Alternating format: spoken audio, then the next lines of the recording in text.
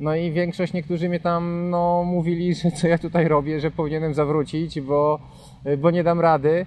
Też wzmagał się trochę wiatr, no i tego wiatru się trochę bałem, no ale tak naprawdę miałem taką nauczony doświadczeniem e, tragedii z 96 roku, e, cały czas sobie w głowie mówiłem, idziesz 100 metrów i oglądasz się 360 stopni dookoła, czy nie zbliża się jakieś ciemne chmury, jakieś załamanie, no i tego, tego się trzymałem. Cześć, witajcie na kanale Szczytomaniak i myślę, że dzisiejszy odcinek będzie dla Was bardzo interesujący, ponieważ jego gościem jest Marcin Miotk, himalajsta, którego nazwisko może wielu z Was nie mówić zbyt wiele, a niesłusznie, bo dokonał on sukcesu, który można powiedzieć, że był jednym z największych sukcesów w historii polskiego himalaizmu w XXI wieku, ponieważ jako pierwszy Polak Marcin Miotk wszedł na szczyt Everestu bez dodatkowego tlenu, a na dodatek dokonał tego samotnie, co jest również niezwykłym wyczynem.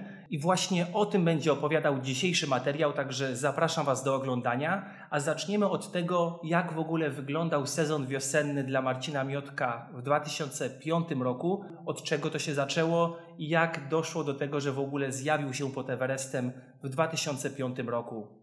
Zaczęło się od tego, że e, cały czas planowałem jechać na Everest, e, jechać bez tlenu. E, no i miesiąc przed wyprawą zadzwonił do mnie Piotrek Pustelnik z propozycją, czy nie chciałbym jechać z nim na wyprawę na Annapurnę.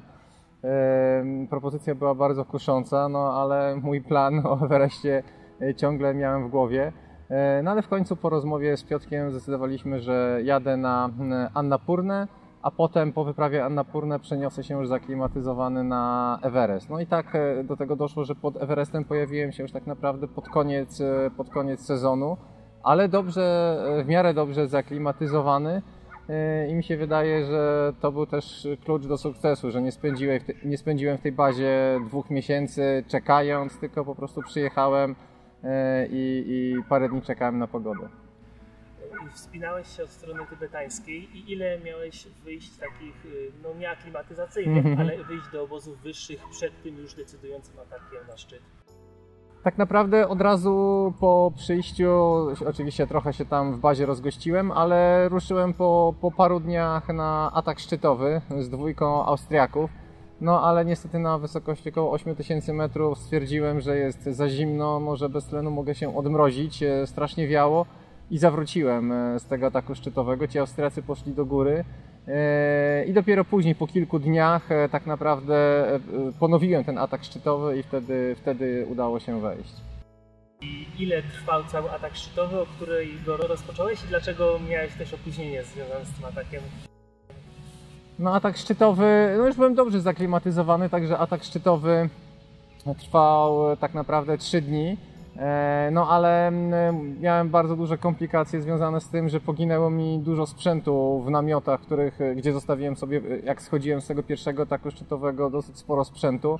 No i musiałem bardzo kombinować, bo nie miałem, nie miałem kurtki, nie miałem czołówki i, i tak naprawdę no było bardzo ciężko to wszystko spiąć. Na przykład na atak szczytowy, jak wszyscy wychodzą o 12 w nocy, ja wyszłem o, o 5 nad ranem, bo nie miałem czołówki. Musiałem czekać, aż zrobi się jasno.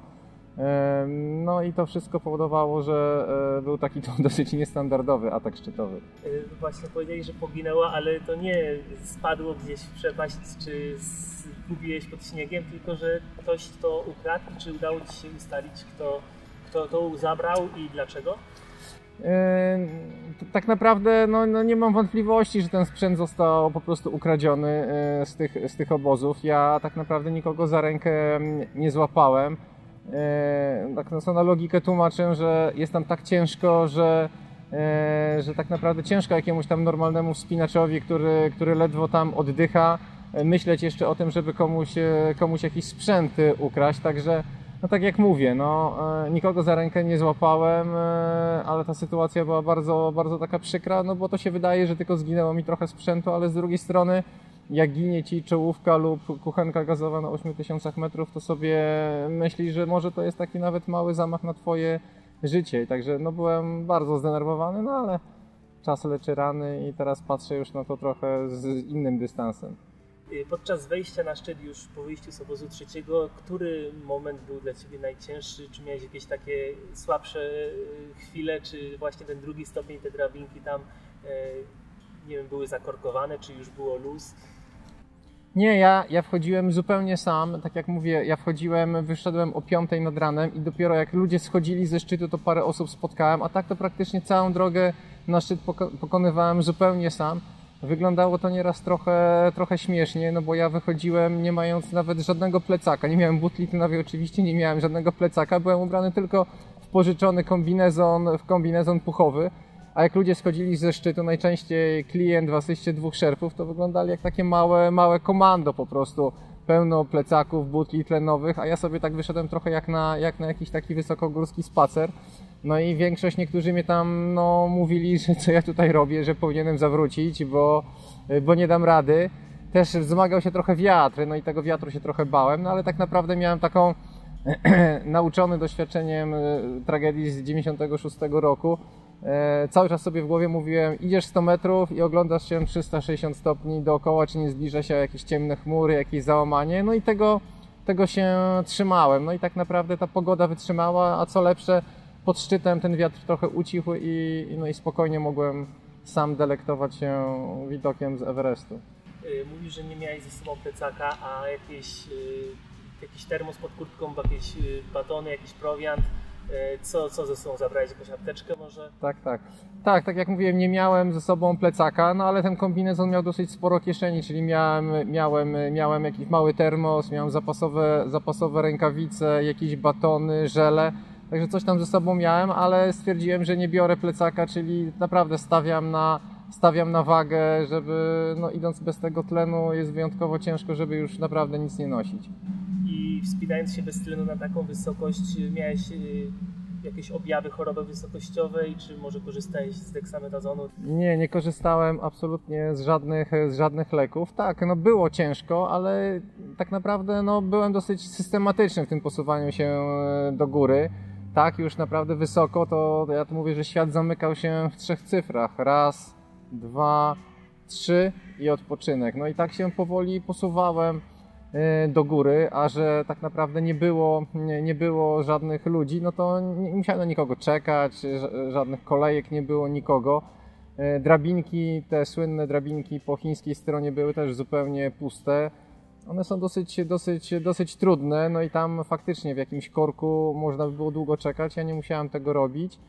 Mm, także także no poszło to dosyć sprawnie, a jeśli chodzi o E, to, czy miałem jakąś e, objawy jakiejś choroby, to nie. No jedyną taką, można powiedzieć, objawą, jak miałem to podczas zejścia, że jak już schodziłem z obozu trzeciego po, po ataku szczytowym, no to wydawało mi się cały czas, że ktoś ze mną schodzi. Miałem takie poczucie drugiej osoby, ale to było takie uczucie raczej, raczej przyjemne, że ktoś ze mną idzie, ktoś o mnie, ktoś o mnie dba. E, no ale to też, jak gdyby jak szedłem gdzieś tam na 6, 800, 7, no to już ustąpiło, bo już było więcej tlenu i, E, i po prostu to takie, ta, ta Fata Morgana trochę taka e, po prostu ustąpiła. E, była to Twoja pierwsza wizyta na Everestie, też wspinałeś się sam, więc no, siłą rzeczy nie znałeś tej drogi, ale czy było wymagane, żeby w ogóle znać tę drogę, czy tych poręczówek jest tam tak dużo, że ta droga na szczyt jest tak naprawdę oczywista i nie ma jak się pomylić? Nie no, droga, droga na szczyt, mi się wydaje, Everestu jest oczywista, zarówno ze strony nepalskiej, jak i z tej mojej strony tybetańskiej. Też jest taka zasada od wielu, od wielu lat, y, że y, każdego roku jest, y, szerpowie kładą nową poręczówkę, która ma inny kolor. W tym sezonie, jak ja byłem, to był kolor niebieski. I tak naprawdę no, większość osób wpina się do tej nowej poręczówki, bo te, te stare są jakieś takie no, już podniszczone. No ale to jest też tak, że ta, ta poręczówka jest w każdym miejscu, ale tak naprawdę teren większości, Everest to nie jest trudna góra i teren większości nie jest aż na tyle trudny, żeby trzeba było się do, do tej poręczówki wpinać, tak? Także są fragmenty, gdzie naprawdę nie ma gdzie, gdzie spaść i, i, i nie, ma, nie ma sensu, ale w tych trudnych takich miejscach z jakąś ekspozycją, no to głupotą by było się po prostu z, z, nie, nie, nie wpinać, tak? A jak wyglądało zejście? Bo szczyt zdobyłeś o 14.30, tak? Dobrze pamiętam. E, i no, siłą rzeczy zejście już musiało być e, nocą. E, jak długo trwało? Zejście było, zejście było też takie, można powiedzieć, trochę ryzykowne, bo faktycznie na szczycie byłem bardzo późno, o 14.30, ale no mówię, miałem szczęście, że był to dzień bez jakiegoś tam załamania, bez, bez większych chmur. i tak naprawdę udało mi się do obozu trzeciego dotrzeć naprawdę równo z, ze zmrokiem, tak? Jak się już zupełnie ściemniało, ja dotarłem, przypominam, bez czołówki do tego obozu. Mm, no i dopiero tam się przespałem i dopiero kolejnego dnia z tego obozu na 8300 kontynuowałem zejście na dół. Także mm, udało mi się jak gdyby uniknąć e, ciemności, e, no ale to zejście to dosyć sprawnie mi poszło i, e, i, i, i ta ciemność mnie nie zaskoczyła. Sezon wiosenny w 2005 roku nie był łatwy na Everestie. Ze względu na spore opady śniegu, przez dłuższy czas uniemożliwione były ataki na szczyt. Tamtej wiosny zginęło sześcioro Himalajstów, z czego troje z nich wspinało się na najwyższą górę świata, również od strony tybetańskiej. W dniu, kiedy Marcin Miotk samotnie i bez dodatkowego tlenu osiągnął wierzchołek Everestu, 49-letni brytyjski himalajsta Robert William Main zmarł na zawał serca, którego doznał po upadku w okolicy balkonu, schodząc wówczas wraz ze swoim zespołem do obozu czwartego położonego na przełęczy południowej. Jeden z odcinków na kanale poświęcony jest słoweńskiemu himalaiście Markowi Littenekerowi, który również swoją próbę wejścia na Everest przypłacił życiem w 2005 roku. Zapytałem Marcina, czy on po zejściu z najwyższej góry świata cierpiał na jakieś dolegliwości, urazy, takie jak na przykład odmrożenia. Nie, nie, nie, nie miałem, nie miałem żadnych e, odmrożeń. Do tej pory na szczęście nie mam e, żadnych odmrożeń. E, zejście było, zejście było, tak jak mówię, dosyć, dosyć, dosyć płynne i dopiero gdzieś tam w bazie do mnie dotarło, co tak naprawdę udało mi się zrobić, zrealizować mój cel, bo tak naprawdę pojechałem w, celem, w celu wejścia bez tlenu, tak? Powiedziałem sobie albo wchodzę bez tlenu, albo nie wchodzę zupełnie, wejście z tlenem mnie nie interesuje. No i ta strategia takiego właśnie postawienia na to, że robię wszystko, żeby wejść bez tlenu, e, to mi się udała, bo wydaje mi się, że gdybym gdzieś ten tlen wysoko miał, to jest duża szansa, że bardzo zmęczony bym go użył, a tak po prostu nie miałem takiej pokusy. I wspomniałeś, że już y, tego samego sezonu byłeś jeszcze na, na a jakie były Twoje wcześniejsze doświadczenia na ośmiotysięcznikach i na tych górach wyższych? Yy, tak naprawdę na pierwszą wyprawę to pojechałem e, w 99 roku na Shisha Pangme na, e, na 8000. Weszliśmy tam razem w ramach wyprawy szczecińsko-gdańskiej na Shisha Pangma Middle 8013 metrów. To było moje pierwsze doświadczenie na 8000 metrów. No przyznaję, nie czułem się wtedy jakoś tam wyjątkowo fantastycznie. Jeszcze przed tą wyprawą byłem na, na Aconcagua, na innych jak gdyby szczytach, także już trochę z wysokością miałem do czynienia. No ale dopiero później na piku, piku Pobiedy na ośmiotysięczniku Czeoju, który zdobyłem w 2003 roku, no zauważyłem, że bardzo szybko i w miarę dobrze się aklimatyzuję i w tych górach dosyć szybko się poruszam. No i tak naprawdę nabrałem dosyć dużej pewności siebie, mm, że jestem w stanie wchodzić na wysokie ośmiotysięczniki bez tlenu. No i stąd pojawił się ten pomysł wejścia na Everest bez tlenu. Czy uważasz, że te zdolności do aklimatyzacji to są trochę genetyczne, czy można u siebie wyrobić? Jak oceniasz na podstawie swojego doświadczenia i też obserwacji innych y, Himalajstów? Znaczy, aklimatyzacja to jest dosyć specyficzna e, umiejętność. E, ja zawsze powtarzam, że bycie mm, takim, można powiedzieć, kolokwialnie mówiąc, fit, e, czyli osoby, które biegają, dużo jeżdżą na rowerze, oczywiście mają większą szansę na to, że będą się dobrze w górach aklimatyzować, e, ale nie jest powiedziane, że mistrz olimpijski w maratonie będzie się dobrze aklimatyzował. Jest to dosyć trochę specyficzna umiejętność. Mm, e, posiadanie dobrej wydolności na pewno pomaga i też do pewnego stopnia da się to wytrenować, tak? Systematycznie uprawiając sporty wytrzymałościowe jak bieganie, pływanie, jazda na rowerze. Mm, e, ale też do pewnego momentu jest to też jakaś tam wrodzona, wrodzona, wrodzona cecha ale też jest, co jest ważne, że jest to taka naprawdę, że organizm posiada według mnie wielu badań medycznych taką pamięć wysokościową, że jeśli wchodzimy na wysokie szczyty, to jeśli stopniujemy wysokość tych szczytów, czyli najpierw wchodzimy na 5000, 6, 7, to ten nasz organizm e, uczy się tej, tej, tej zdolności aklimatyzacji. Także ja zawsze zachęcam, żeby nie atakować od razu siedmiotysięczników czy ośmiotysięczników, tylko próbować niższych szczytów i tam tą swoją zdolność do aklimatyzacji wypracowywać. po wyprawie na Everest, jak wyglądało później Twoje takie himalajskie e, życie i, i jakie, jakie następne były Twoje wyprawy i kiedy postanowiłeś zrobić sobie przerwę? Mhm. No tak, e, po Everestie tak naprawdę dalej mnie ciągnęło w góry, w góry wysokie. Zawsze ludzie zadawali, no teraz Marcin wszedłeś na Everest, no co teraz? Teraz to już nawet w Tatry nie pojedziesz. E, absolutnie nie miałem takiego, takiego podejścia. W Tatry jeżdżę notorycznie każdego roku, bo je uwielbiam. A jeśli chodzi o góry wysokie, to, to tak, byłem na, na, skończyłem po Everestie, skończyłem Śnieżną Panterę, jako, skończyłem jako drugi Polak.